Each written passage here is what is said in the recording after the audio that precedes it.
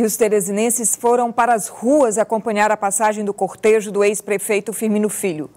O corpo dele foi levado em um carro do Corpo de Bombeiros, como a gente viu, por todas as zonas da cidade. E por onde passou, populares se despediam emocionados, prestando a última homenagem.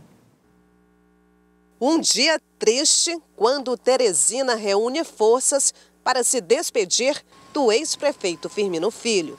Desde que o cortejo saiu da funerária, os teresinenses foram para fora de suas casas para dar o último adeus ao homem que fez com que Teresina e sua população fossem sua história. Uma história de gratidão e respeito. Muita gente não conseguiu controlar a emoção. Foi uma tristeza muito grande, né? Ninguém nem esperava um negócio desse. Era um homem que a senhora admirava? Era sim.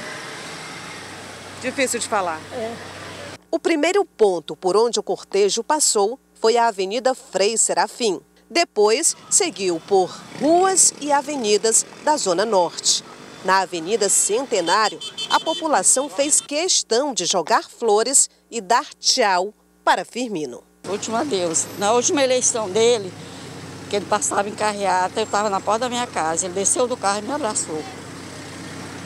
Gostava muito dele, uma boa pessoa, um bom homem, um bom pai de família. Era uma história com Teresina. Uma história com Teresina. Vai fazer muita falta. Quem trabalhou com o Firmino enquanto ele foi prefeito de Teresina, lembrou de anos agradáveis por estar perto de alguém que sempre foi considerado um ídolo. Eu trabalhei 30 anos na prefeitura, peguei as quatro gestões dele. Ele, para mim, foi um prefeito excelente. Muitos políticos acompanharam o cortejo. Consternados, a emoção era visível. A cidade está fazendo uma homenagem muito bonita ao nosso prefeito. Teresina vive um momento inesperado. É, ninguém esperava.